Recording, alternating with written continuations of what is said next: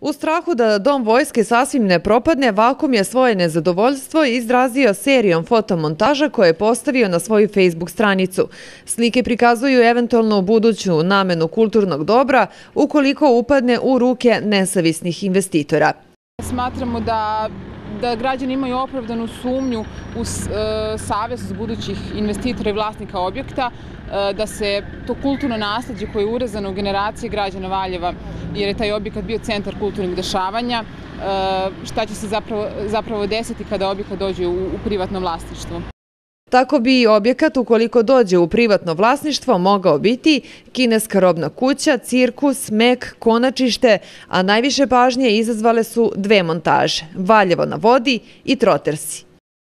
Najviše pažnje izazvao e, plakat Valjevo na vodi, zato što je aktualan zbog e, teme inicijative protiv Beograda na vodi i najviše pažnje izazvala fotomontaža sa troterima, sa Delbojem i Rodnijem e, pod nazivom Stigli investitori. To samo govori o nesigurnosti, objekt, nesigurnosti budućnosti tog objekta ukoliko dođe u ruke investitora koji možda danas uspešta, uspešan, ali je sutra možda propali biznismen, a samim tim je propalo i ovo veoma važno znanje za, za Valjevo.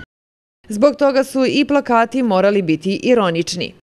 Iz, izazivaju podsmeh i praktično ilustruju ironiju situacije u kojoj se mi danas nalazimo i nemogućnosti da utičemo na bilo koji način. Valjevska kulturna mreža za naredni period priprema izložbu posvećenu godišnjici poplava. U ogradnoj galeriji biće prikazane slike britanskog fotografa Johna Palmera 15. maja u 20 časova.